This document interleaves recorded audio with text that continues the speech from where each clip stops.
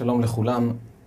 הנושא שלנו, אחד הנושאים שמסקרנים את הציבור היהודי בכל מקום שהוא, כאשר מסתכלים על ההנהגות של הציבור שומר המצוות, ישנן שאלות רבות שצפות ומתעוררות ואפילו לפעמים מעוררות תמיהה. איך ייתכן שציבור שאמור להתנהל על פי ההדרכה של התורה, להיות רגיש לזולת וכדומה, איך ייתכן שדווקא הציבור הזה לא משרת בצבא? את הנטל מפיל על אחרים.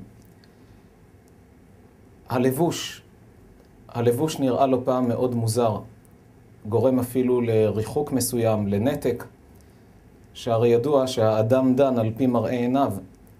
האדם יראה לעיניים, והשם יראה ללבב. האדם שופט את זולתו לפי איך שהוא נראה בחוץ. וכאשר האדם מרגיש שהחיצוניות של הזולת שונה ממנו, באופן טבעי הוא מרגיש ריחוק, כי אולי זה מראה גם על שינויים פנימיים. אז בשביל מה צריך את הלבוש הזה? ובכלל, כשצופים בכלי התקשורת השונים, רואים אנשים דתיים בהפגנות, לא פעם משליכים אבנים, זה נראה מאוד דוחה, מאוד מרחיק, ובצדק, וכי זוהי דרכה של תורה, הרי דרכיה דרכי נועם וכל נתיבותיה שלום. שלא לדבר על מקרים בהם מדווח בתקשורת שתפסו רב מסוים שעושה כך וכך. זה נושא מאוד מרגיז ומאוד מקומם, איך ייתכן שרב יתנהג בצורה כזו? ובכלל, האם זה נכון שהציבור הזה הוא אנטי-ציוני? הציבור החרדי נתפס בדרך כלל ומכונה בתואר הזה ציבור שמתנגד לציונות, וכאשר יושב אדם בביתו ושומע בכלי התקשורת שחוגים אנטי-ציוניים, כפי שהיה בעבר עוד יותר מהיום, מקובל לכנות את הציבור הזה, עשו כך וכך, אמרו כך וכך. מיד התחושה היא תחושה של ריחוק, כי היהודי המצוי מרגיש, אני ציוני ברמח איבריי ושסה גידיי. ואיך ייתכן שהדתיים האלה יהיו אנטי-ציוניים? וכאן באמת כבר צריך לעורר את השאלה ולומר, האם ייתכן שאדם שמתפלל שלוש פעמים ביום, ברוך אתה השם, המחזיר שכינתו לציון, ותחזינה עינינו בשובך לציון ברחמים. כל יהודי דתי מתפלל שלוש פעמים ביום ומבקש מהאלוקים שיחזיר שכינתו לציון. הוא מבקש שעם ישראל יתקבץ מכל הגלויות לארץ ישראל. ישוב לציון. אדם כזה ניתן לכנות אותו אנטי-ציוני, אבל מצד שני, הרי אדם כזה כן נקרא כיום, עם כל החוג שהוא משתייך אליו, בשם חוג לא ציוני. איך הדברים מסתדרים? אז ננסה הערב באמת להציץ אל תוך אורחות חייו של הציבור שומר המצוות, ולנסות להבין מה מסתתר מאחורי הדברים. כאשר באים אנשים ומדברים על הציבור שומר המצוות, ומכנים אותם בשם אנטי-ציוניים, הם ככה מכנים את החרדים שהם אנטי-ציוניים, ויושב האדם מן השורה בביתו, ושומע איש תקשורת שמדבר על החרדים שהם אנטי-ציוניים. זה מאוד מרגיז אותו. מה פירוש? אני ציוני, אכפת לי מהמדינה, אכפת לי מעם ישראל. מה פירוש אנטי-ציוני? בעיניו, מה פירוש אנטי-ציוני? אדם ששונא את המדינה, שונא את היהודים, לא אכפת לו שכל המדינה הזאת תעלה באש. זו התחושה שהוא מקבל. וממילא הוא מרגיש תחושה של ריחוק ותיעוב אפילו, ומבחינתו, בצדק. אדם ששונא את עם ישראל ושונא את המדינה ושונא את כולם, מה זה צריך להיות? אבל כשנתבונן באמת בהגדרה, מהי ההגדרה של אדם ציוני? מה פירוש ציוני? ציוני זה אדם שנאמן לארץ ציון. זו ההגדרה של ציוני אמיתי, נאמן לארץ ציון. אז נשאל את עצמנו האם החרדי עונה על ההגדרה הזו. הוא שלוש פעמים ביום מתפלל, המחזיר שכינתו לציון. הוא צם כמה ימים בשנה, למה? כי הוא מתאבל על חורבנה של ציון. לא נוח לצום, אבל הוא צם יום שלם כי הוא רוצה שציון תיבנה חזרה. הוא מתפלל ואומר, אתה תקום תרחם ציון, כי עת לחננה קיבה מועד. הוא מבקש מהקדוש ברוך הוא שיגאל, השיבה שופטנו כבראשונה ויועצינו כבתחילה. מקבץ נדחי עמו ישראל. מתפלל שעם ישראל יחזור לארץ ישראל, וארץ ישראל תיבנה חזרה. אדם כזה שהולך על פי התורה והמצוות, הוא לא יוצא מהארץ, אם אין היתר הלכתי לצאת מהארץ. לא על כל דבר מותר לצאת מהארץ. אדם שנמצא בארץ ישראל, מותר לו לצאת מהארץ כדי לשאת אישה, או אם היא צריכה בעל, ויש שם מישהו מתאים, מותר לה לצאת מהארץ, מותר לו לצאת מהארץ. או כדי ללמוד תורה, או לצורכי פרנסה. יש דברים מוגדרים מתי מותר לצאת מהארץ, אבל סתם הוא לא יוצא מהארץ. אדם שהולך על פי ההלכה, הוא לא יוצא מהארץ סתם. האם ניתן לכנות אדם כזה בשם אנטי-ציוני? הרי הוא ציוני במלוא מובן המילה, ברמח איבריו ושסה גידיו, הוא הציוני האמיתי. ולא כמו אותו אחד שמכנה אותו, יכול להיות איש תקשורת, שמכנה את החרדי הזה אנטי-ציוני, וברגע שמציעים לו איזה משרה בשוויץ או בארצות הברית, הוא יכול לבעוט במדינה ובכל מה שהיא מייצגת, ללכת לשם, להקים שם משפחה, ולשכוח בכלל מאיפה הוא בא. כי יש לו שם עכשיו משכורת של 15 אה, אלף דולר לחודש, אז לא אכפת לו, הוא עוזב את הכל. הוא לא מתפלל על ארץ ישראל, הוא לא צם על ארץ ישראל, אז במה הוא ציוני? במה שהוא סתם מכנה את עצמו אני ציוני? אם כך, מאיפה יצאה הטעות הזו לכנות את אותו ציבור שומר תורה ומצוות, שהוא נאמן לציון אפילו יותר מאחרים, נאמן לארץ ישראל, כי הוא מוכן הרבה להשקיע ולהקריב הדבר, עבור הדבר הזה? איך, איך ייתכן? מאיפה זה יצא? מהיכן נבע השם הזה אנטי-ציוני? אבל התשובה פשוטה. באירופה הוקמה תנועה שחרתה על דגלה, אנחנו צריכים להקים מדינה ליהודים, מדינה שלא תלך על פי התורה והמצוות. זה בעצם מה שהם חרטו על דגלם. יהודי בלי תורה ומצוות. לא כמו כל ההיסטוריה היהודית, שיהודי ותורה זה, זה, זה הלך ביחד. אמרו, יש דבר חדש, תהיה יהודי בלי תורה ומצוות. חרטו על דגלם הקמת מדינה כזו. איך הם קראו לתנועה הזו שביקשה להקים מדינה ליהודים שהיא לא על פי התורה?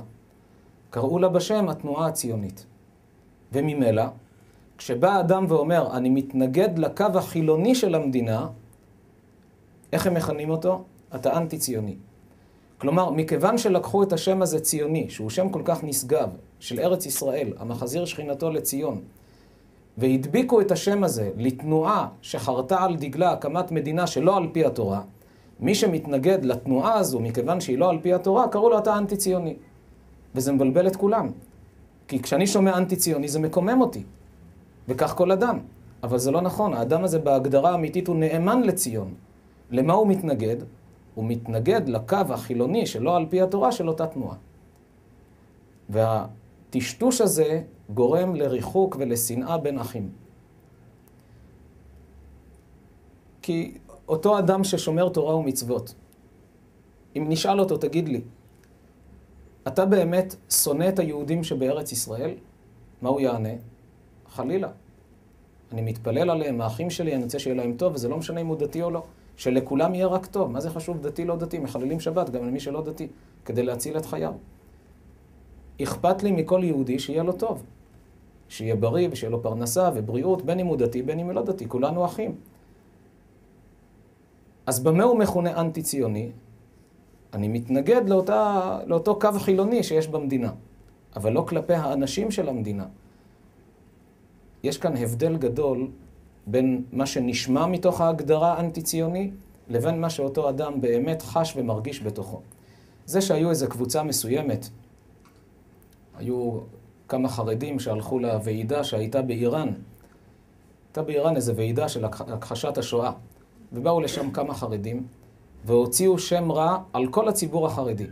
כאילו שהחרדים שונאים את עם ישראל ומעוניינים במחיקת המדינה והשמדת עם ישראל. אפילו העיתון של אנטורקרטה, מישהו הראה לי, מהעיתון של אנטורקרטה הוציאו כתבה ענקית. אנטורקרטה לא משתתפים בבחירות לכנסת, אבל הם הוציאו כתבה גדולה וכתבו שם, אנחנו מוקיעים את השישה האלה מתוכנו, הם מייצגים רק את עצמם ולא אותנו בכלל. שישה אנשים שהם ידועים כמטורפים בתוך החוגים האלה, והם הלכו שם כדי לקבל תהילה וכבוד וכל מיני שיקולים מעוותים, והוציאו שם רע אפילו על, על הכי קיצוניים שיש בעולם החרדי, שלא משתתפים בבחירות לכנסת. יש קבוצה כזו של נטורי קרתא, לא משתתפים בבחירות. וגם הם אומרים שאנחנו מוקיעים אותם מתוכנו, כי זה לא הגישה שלנו. חשוב לנו כל יהודי שיהיה לו טוב. אנחנו מתנגדים לקו החילוני הזה של המדינה. אבל סך הכל, הקו הכללי של עולם התורה, של העולם החרדי, זה שיהיה טוב לכל יהודי. יותר מזה, כשהחרדי מתפלל על עם ישראל, או שהוא אומר בפירוש, או לפחות מכוון בתפילה, שהקדוש ברוך הוא ייתן עצה טובה למנהיגים של המדינה, ולא חשוב מי כעת ראש הממשלה ומי שר הביטחון ומי שר האוצר, לא חשוב מי הוא האדם, אבל סך הכל הוא יושב כעת ליד ההגה, שהשם ייתן לו דעת ותבונה ושכל נכון, לדעת איך להנהיג את עם ישראל בצורה הכי טובה. גם אם אני לא אוהב את ראש הממשלה או את שר הביטחון, לא חשוב, מה זה חשוב אם אני אוהב או לא אוהב אותו, אם הייתי רוצה אותו או שהייתי רוצה מישהו אחר. אבל לאחר שההגה בידיים שלו, מוטל עלינו להתפלל שהשם ינחה אותו בעצה טובה. כי הוא סך הכל מנהיג כעת את הספינה, שהוא יצליח להוביל אותה בצורה נכונה, שלא יקבל החלטות מוטעות, שלא יפלנו לנו חיילים. זהו הקו היהודי האמיתי של אדם שומר תורה ומצוות. יש ויכוח בין העולם החרדי לבין מה שנקרא הכיפות הסרוגות, המפד"ל וכדומה, איך להתייחס להנהגה של המדינה. האם להתייחס למנהיגות של המדינה בהערצה, כאל סמלים יהודיים חשובים, או שמתייחסים אליהם כאנשים רגילים, כאל קו רגיל. לא, לא כל כך מתפעלים מהעניין הזה, לא רואים סמל גדול בנשיא המדינה וראש הממשלה, מכיוון שבתפקידים האלה צריכים לשאת אנשים שהם שומרי תורה ומצוות, שינהיגו את, ה, את המדינה על פי התורה, ויחנכו את ילדי ישראל על פי התורה, ולא כמו שרואים היום, שיש ילדי ישראל שלא יודעים מה זה שמע ישראל, ולא מאפשרים לרבנים להיכנס לבתי ספר ולתת הרצאות ביהדות. יכולים לתת לכמרים, יכולים לתת למנהיגים של כל מיני תנועות כאלה שקוראים לעצמם גאווה וכדומה, הם יכולים להיכנס ולדבר שם והכל לגיטימי. אבל שילד יהודי ישמע רב שייתן הרצאה מה זה יהדות, שיש בורא לעולם, שיש תורה מן השמיים, מה זה איסור נגיעה, מה זה קדושת החיים, על זה לא נותנים להכניס אף אחד. זה, זה נקרא שעם ישראל בגלות, גלות בתוך גלות. שכאילו יש כאן דמוקרטיה, ובפועל הילדים גדלים בבועה מבלי להכיר מה קורה באמת בעולם התורה. מהי התרבות היהודית המקורית והאמיתית. ניגע כעת בשאלה נוספת שהרבה נבוכים בה, זו שאלת גיוס בני הישיבות לצבא. למה לא מתגייסים? תמיד כששואלים אותי את השאלה הזאת, כן, בדרך כלל, כששואלים אותי את השאלה הזאת, אני שואל את השואל, אתה מאמין באלוקים ובתורה שלנו? ואני אומר לה, אני שואל אותך, כי בלי זה אתה לא תבין את התשובה. השאלה אם אתה מאמין. עד היום תמיד התשובה הייתה שכן. מאמין באלוקים, מאמין בתורה, אבל איפה כתוב בתורה שבחורי ישיבות לא יתגייסו? ואדרבה, צריכים לשאת בעול עם עם ישראל.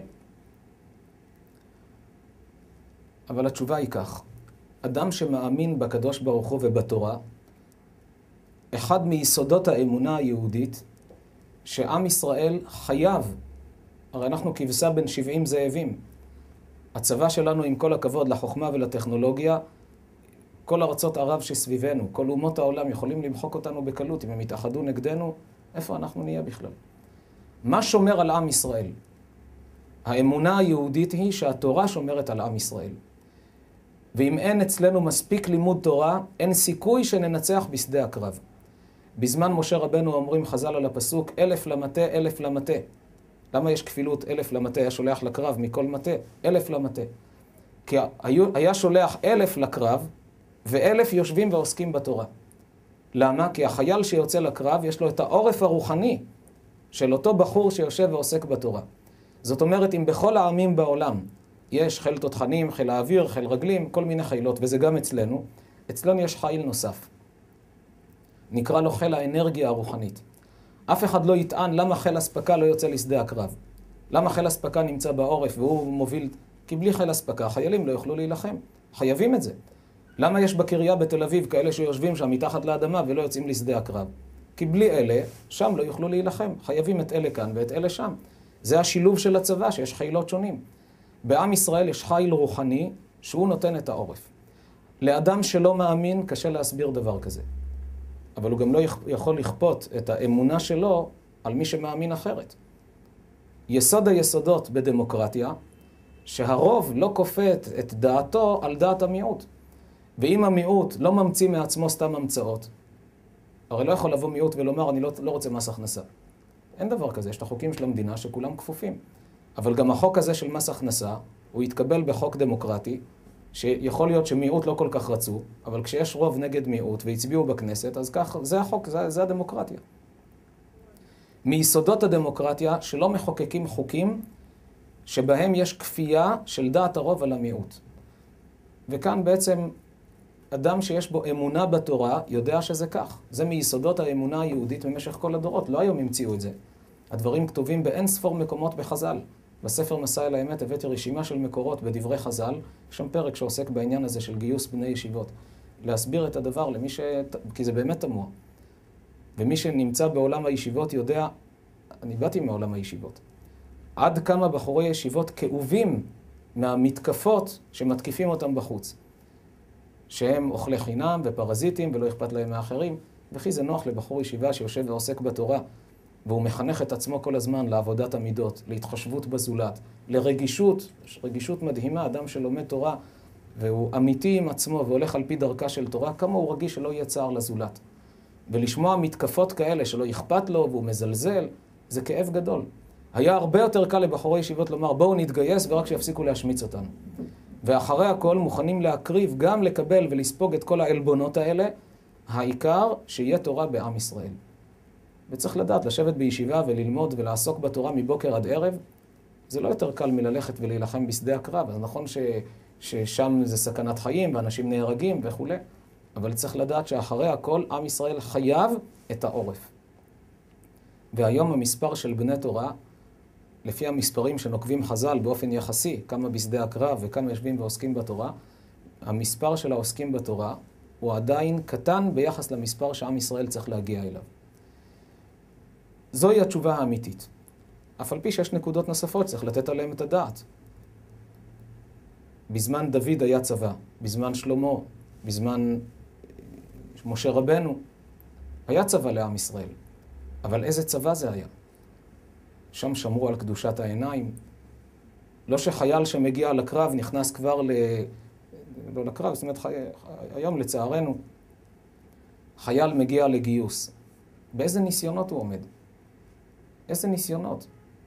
מה שבאזור, באזור המגורים של התורה והמצוות שהוא גדל בו, כמה שמרו עליו, כמה עזרו לו לשמור על עצמו, שלא ייכשל בכל מיני עבירות.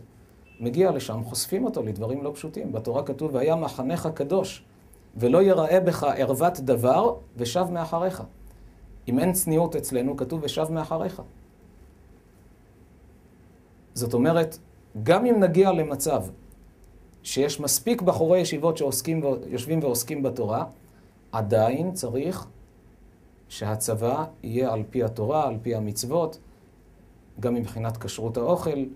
אמנם היום יש אפשרות, מי שמבקש, נותנים לו, אבל האווירה הכללית, אווירה של תורה, של מצוות, לכל הפחות היו צריכים להקים איזה... יש היום את הנחל החרדי, יש אבל הקו הכללי של עם ישראל, מעבר לעניין הזה של הניסיונות שבחור מגיע לצבא, שנניח שעם זה אפשר להתמודד על ידי הקמת איזה חיל פרטי שיהיה קדוש וטהור על פי התורה, עדיין עם ישראל צריך את התורה והמצוות כדי שיהיה את העורף של העוסקים בתורה, שייתנו את הכוח לאותם חיילים שיוצאים לשדה הקרב. זוהי התשובה, התשובה היהודית. זוהי התשובה היהודית. גם אם יהיו כאלה שלא כל כך ירצו לקבל אותה, אבל צריך לדעת שזו האמת. מנקודת מבט יהודית, זו התשובה. שעם ישראל צריך תורה. הלבוש. הלבוש החרדי מאוד מבדיל את החרדי מבין האנשים האחרים. ואחת השאלות, איפה כתוב בתורה שצריך להתלבש בצורה כזו? למה שלא תתלבש כמו כולם? ויהיה פחות מחיצות בינינו, יהיה הרבה יותר קל, יותר אחדות, ויש בזה משהו. אם כולנו היינו מתלבשים אותו דבר, היינו מרגישים יותר קרובים אחד לשני. האדם יראה לעיניים.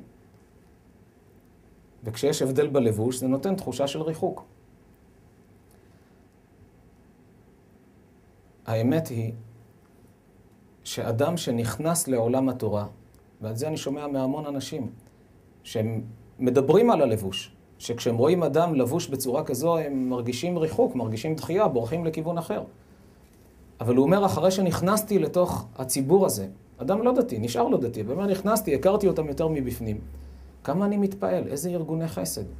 מי שיפתח פעם ספרים, יש ספרי טלפונים פנימיים, אני גר בביתר עילית, אפשר לפתוח את הספר הפנימי של ביתר ולראות רק כמה ארגוני גמחים וחסד שיש. אנשים חושבים על הכל, על כל סוגי הגמחים.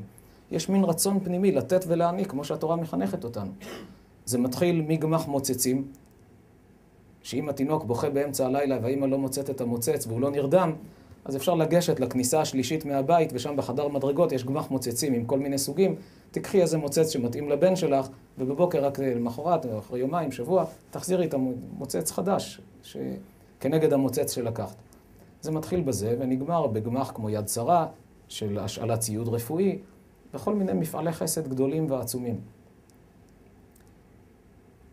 כשחמי ביקר אצלי בביתר, טיילנו קצת בשבת. וכשהסתובבנו שם ברחוב, אז הוא פתאום שואל אותי, תגיד לי, גם בביתר, זו עיר חרדית, ליד ירושלים, מי שמכיר. אומר לי, גם בביתר יש חנויות פתוחות בשבת? אמרתי לו, לא, הכל חנויות סגורות. הוא אומר לי, אבל כל הפירות בחוץ. הירקן שם משאיר, הסברתי לו שהירקן משאיר גם בשבת, גם בימי חול, במקום לאסוף את כל ה... מה שיש לו שם בחוץ ולהכניס ולהוציא שוב בבוקר, אז את כל הארגזים יש לו שם את ה... כמו שמקובל בחנויות, מניחים בחוץ, תפוזים וכל... אבטיחים, אז הוא משאיר את זה בחוץ, הוא לא מכניס פנימה. יש חנויות של חומרי בניין וכדומה, משאירים בחוץ את כל המפות האלה, הגלילים האלה של המפות שאנשים קונים, זה נשאר בחוץ. הוא אומר לי, מה, ילדים לא לוקחים, לא גונבים? אמרתי לו, אף אחד לא נוגע, אתה רואה? הכל נשאר בחוץ, אף אחד לא נוגע. כתוב בתורה, לא תגנוב, מי ייקח? היה שם מיני מרקט כזה, אז כשהוא היה אצלי, היה שם מיני מרקט בביתר, כעת סגרו, פתחו שם משהו אחר. היה שם מיני מרקט בביתר, שמחוץ למיני מרקט היה מקרר קבוע של חלב 24 שעות.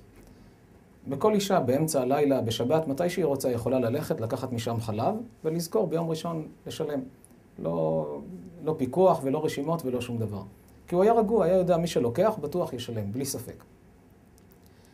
אלה דברים שכאשר אומות העולם רואים דברים כאלה בעם ישראל, כשעם ישראל הולך על פי התורה, עם ישראל הופך להיות אור לגויים. בא אדם שהוא לא, לא נמצא בעולם התורה, והוא רואה דבר כזה, הוא מתפעל. לחמי באותה תקופה היה מינימרקט פרטי משלו בבת ים. כשהוא ראה את כל הפירות והירקות האלה שם בחוץ, הוא אומר לי פעם אחת, כמה שבועות לפני המקרה הזה, הוא אומר פעם אחת איחרתי. במקום בארבע בבוקר הוא קם, הגיע קצת יותר מאוחר. והגיעו לשם ארגזים של לחם. הוא אומר כמה כיכרות גנבו לו, כמה כיכרות קרעו לו, סתם קרעו והשליכו שם. הוא אומר לי, לי אסור לאחר. היום ברוך השם יש פריחה רוחנית בבת ים, בחולון, בכל אזורי הארץ יש פריחה רוחנית. אבל אותם שעשו את זה, ודאי שלאנשים שהתחנכו אחרת. כי התורה מלמדת את האדם מה זה לא תגנוב, מה זה בל תשחית. אדם שלא נמצא בעולם התורה ומכיר את עולם התורה מבפנים, הוא עומד ומתפעל. אבל הלבוש גומר, גורם ריחוק.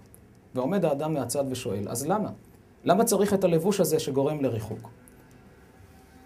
אבל התשובה פשוטה. כמו שבצבא יש מדים מיוחדים, למה יש מדים? למה לא יותר פשוט שכל החיילים יביאו בגדים מהבית? זה יחסוך הרבה כסף לצבא. כל אחד ילך עם הבגדים שהוא אוהב. התשובה היא, כשיש לבוש אחיד, הלבוש מאחד בין כולם, ונותן לכל אחד להתרכז במה שחשוב באמת, ולא באיך אני נראה, ואם אני נראה יותר טוב ממנו או פחות טוב ממנו. כולנו נראים אותו דבר. הלבוש האחיד יש בו הרבה מעלות, הוא מאחד. זו הסיבה הבסיסית שבעולם התורה יש לבוש אחיד. השאלה אז למה דווקא לבוש כהה? פעם מישהו אמר לי, דיבר על החרדים ואומר לי השחורים. שאלתי אותו, למה, מאיפה יצאה המילה הזאת, השחורים? בחיוך שאלתי אותו, מאיפה יצאה? הוא אמר, לא יודע, ככה אומרים, השחורים. אמרתי לו, אתה יודע מה מסתתר מאחורי המילה הזו? בוא תחשוב לרגע. החליפה הקצרה של בחור ישיבה רגיל, וכי יותר ארוכה מהגלימה של השופט? יש שופטים או עורכי דין בבתי משפט, יש להם גלימות שחורות ארוכות. למה להם לא קוראים, השחור, לא קוראים השחורים? גם הם הולכים עם מכנסיים שחורות, בגלל שיש להם חולצה לבנה, גם לבחורי ישיבות יש חולצה לבנה. אז למה לאלה קוראים השחורים ולאלה לא? הם יותר שחורים. התשובה היא, כשרוצים להשמיץ ציבור מסוים, רוצים להשמיץ את הציבור הזה, אז שחור זה נשמע כזה מלוכלך, שחור נשמע לא טוב. אז משתמשים במילה הזו, במונח הזה. אבל למה באמת הציבור הזה לקח לעצמו דווקא את הלבוש הכהה? הרי יכלו לקחת חליפת ג'ינס, יש בגדים אחרים. התשובה היא, צבעים משרים על האדם אווירה מסוימת. זה דבר טבעי. אם ניקח אדם ונכניס אותו לחדר אדום, הכל אדום, ריהוט, רצפה, תקרה, כיסאות, הכל אדום, נשאיר אותו שם כמה שעות. איך הוא יצא משם אחר כך? עצבני לחלוטין. צבע אדום הוא צבע מרגיז. הצבע הירוק הוא צבע מרגיע. בתי חולים כעת עוברים מהלבן לירוק, צובעים בירוק בהרבה מקומות. רופאים מתחילים ללבוש ירוק. למה? כי הירוק הוא צבע מרגיע, הוא מרגיע גם את החולים. כך מצאו מבחינה פסיכולוגית. אגב, מכאן נבין איזה חסד עשה איתנו אלוקים שצבע את המדשאות בירוק ולא באדום. מה היה קורה אם כל הדשא היה באדום וכל העצים היו אדומים? לא היינו יכולים להירגע בחיק הטבע. נתן לנו את הצבע שהכי מתאים לרגיעה מבחינה פסיכולוגית. הלבן מסמל משהו, התכלת מסמל משהו. כל צבע יש לו את האווירה הפסיכולוגית שלו. הצבע הכהה, שחור, כחול כהה, אלה צבעים שמשרים אווירה של התבוננות, אווירה של כובד ראש. לא עצבות חלילה. יש היום בלבול בין עצבות לבין רצינות. יש אדם שיכול להיות רציני עם כובד ראש, אבל הוא מלא שמחת חיים. רצינות זה אומר להתייחס ברצינות לחיים. ואין דבר יותר רציני מאשר החיים עצמם. הלבוש הכהה מכניס את, ה, את אותם בחורי ישיבות לאווירה שהחיים רציניים. וצריך להתייחס לזה ברצינות. לכן נתנו להם דווקא את הבגדים היותר מכובדים. מישהו פעם ראה ראש ממשלה או שופט שהולך עם חליפת תכלת או חליפת ג'ינס, וכך הוא בא לבית המשפט או לכנסת. תמיד באים עם הלבוש הכהה, עם הלבוש המכובד. הלבוש של אותם אנשים שצריכים לקבל החלטות חשובות, כמו שופטים, עורכי דין, ראשי ממשלות וכדומה, זה הלבוש של עולם התורה. אז יש אמנם את החרדים החסידיים שבאו מארצות אירופה והם ממשיכים לשמור על הלבוש שלהם. בשבת הם לובשים גם את הכובע פרווה, כדי לשמר את המורשת של הדורות הקודמים. אבל בסך הכל הלבוש הזה נועד לשמר את האדם, להכניס אותו לאווירה הנכונה וגם לעמוד בניסיונות. זה לבוש שמסייע לעמוד בניסיונות. מי שרוצה, מי שלא רוצה יכול עם הלבוש הזה לעשות את העבירות הכי חמורות שבתורה. אבל מי שרוצה באמת לשמור על עצמו, ברגע של פיתוי, הלבוש מסייע לו לעמוד בניסיון. הוא עובר ליד קולנוע, רואה סרט שמאוד מושך, יש שם איזה שלט, וברגע של רפיון היצר מתגבר עליו. אבל הוא יודע, יש שם בעיות של צניעות, כתוב בתורה ולא תטורו אחרי לבבכם ואחרי עיניכם, אני לא רוצה לראות את זה. הוא נמצא בעימות עם עצמו. אם הוא היה לבוש עם טריקו וג'ינס, בקלות היה יכול להיכנס. הלבוש של הבן תורה מסייע לו לשמור על עצמו, שלא להיכנס לשם. הכיפה, גם כדאי כמה מילים לדבר על הכיפה, כי באמת כמה פעמים אנשים שאלו, הוא אומר, אני שומר את כל המצוות, אבל לא רוצה שכולם ידעו. אני אבוא עם כיפה לעבודה, יגידו לי מה קרה לך, וזה, לא רוצה. כל כך חשוב ללכת עם כיפה. הגמרא אומרת, כסה ראשך כדי שתהיה עליך יראת שמיים. מבחינה פסיכולוגית, כשיש לאדם כיסוי ראש, כיפה על הראש, הוא מרגיש שיש מישהו מלמעלה. הגבר בפרט הוא יותר עז, והוא צריך יותר את התחושה הזאת שיש מישהו מלמעלה. כסה ראשך כדי שתהיה עליך יראת שמיים. הגמרא מספרת שהאסטרולוגים אמרו לאימו של רב נחמן, כשנולד לה הילד, אמרו לו, רב נחמן האמורה, לפני 1500 שנה, אמרו לה שהבן הזה יהיה גנב, לפי האופי שלו. והיא הייתה מקפידה מאוד מהגיל הרך שהוא יהיה תמיד עם כיסוי ראש. של הימים ההם, אבל כיסוי ראש. כשהיה נער, ישב מתחת דקל של השכנים וישב ועסק בתורה, חזר על הלימוד שלו, ולא חש שהכיסוי ראש נפל. פתאום היה לו דחף עצום, הרגיש בעירה פנימית, הרים את העיניים, ראה תמרים למעלה, טיפס ותלש תמרים. שזה גזל, זה גניבה של השכנים. אחר כך הוא קלט מה הוא עשה. אמו אמרה לו, שים לב שהיית בלי כיסוי ראש. כי הכיסוי ראש נותן לך יראת שמיים, נותן לך הבנה שיש מישהו מלמעלה. זה כתוב בתלמוד. האדמו"ר מסלונים, שנפטר לפני מספר שנים, כותב שבדור שלנו הכיפה חשובה עוד יותר מהדורות הקודמים. בדורות הקודמים עוד היו אזורים שכולם שומרי תורה ומצוות והולכים בלי כיפה, או מפחד הגויים או מכל מיני סיבות אחרות.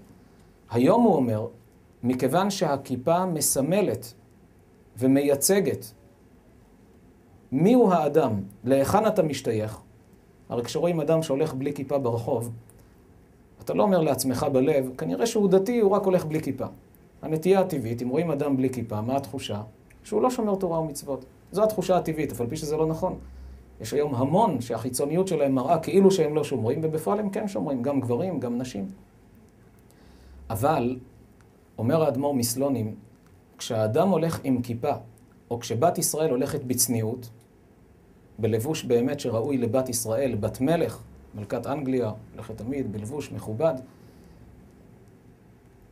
כשבת ישראל הולכת בצניעות, ויהודי, בן, הולך עם כיפה, הוא מכריז כלפי העולם, אני נאמן לבורא עולם.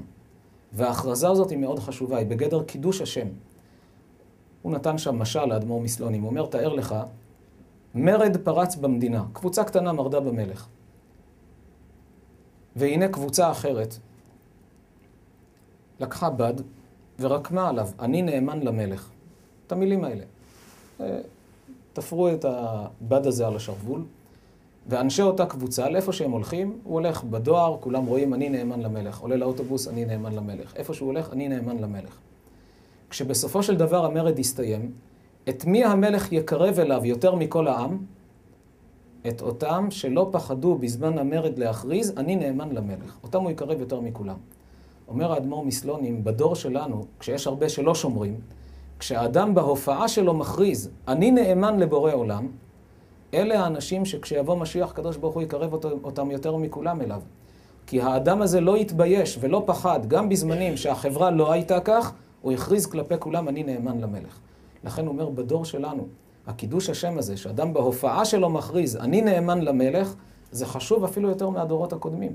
כי היום זה מדד אצל אנשים, והנאמנות למלך, ההכרזה הזו, היא בגדר קידוש השם. שלא לדבר על עניין הצניעות של בת ישראל, כשהולכת בצניעות, כמה זה נפלא.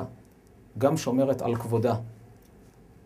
יש בנות שמרגישות כאילו, חלילה, זה לא נכון, אבל יש להן תחושה כאילו שכדי שיסתכלו עליי, אני צריכה לחשוף חלקים מהגוף. פסיכולוגית זה, זה דבר נורא, מי שמתבונן בזה זה נורא.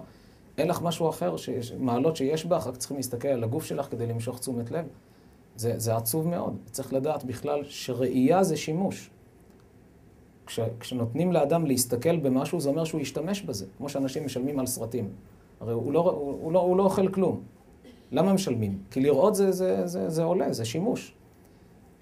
אסור לבת ישראל לתת לאחרים שישתמשו בגוף שלה שלא כדין. שומרת על עצמה בצניעות, שומרת על עצמה בקדושה, לוקחת את הצניעות מתוך הבנה שאדרבה, זוהי מעלתי, בגאון ובגדולה, היא לוקחת את הצניעות על עצמה מתוך ידיעה אני בת מלך. כל כבודה בת מלך פנימה. אני מזרעו של אברהם, יצחק ויעקב. שעליהם אמר הקדוש ברוך הוא, בנים אתם להשם אלוקיכם, עליהם ועל זרעם אחריהם.